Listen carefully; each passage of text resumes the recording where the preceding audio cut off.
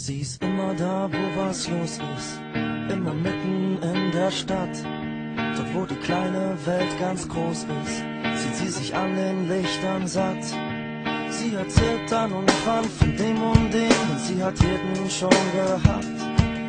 Auch wenn sie sich selbst nicht ganz so pflegt, pflegt sie zumindest den Kontakt. Und sie träumt von Chicago, von Chicago.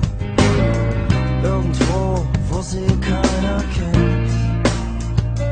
Und sie träumt von Chicago, von Chicago. Dort, wo niemand, niemand ihren Namen nennt. Mit ihrem sonnigen Traum vor Augen läuft sie durch den Regen. Und jeden, den sie auf der Straße trifft, erzählt sie, sie wäre da gewesen. Beschreibt an welcher Ecke sie schon war, denn sie kennt immerhin dies und das. Und wenn du bisschen was dabei hast, nimmt sie dich mit für eine Nacht. Sie nimmt dich mit nach Chicago, nach Chicago.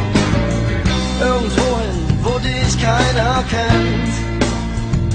Sie nimmt dich mit nach Chicago, nach Chicago. Dort, wo niemand, niemand deinen Namen nennt.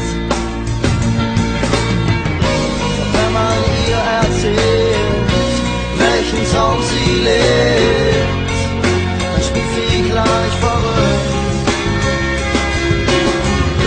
Denn auch wenn sie kurz schläft, sobald das Licht angeht, dann muss sie schnell zurück. Manchmal trifft sie sich mit ein paar Leuten an einem unbestimmten Platz.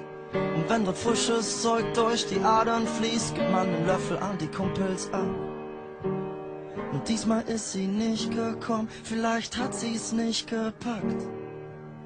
Nur eine kleine Nachricht ist alles, was sie hinterlassen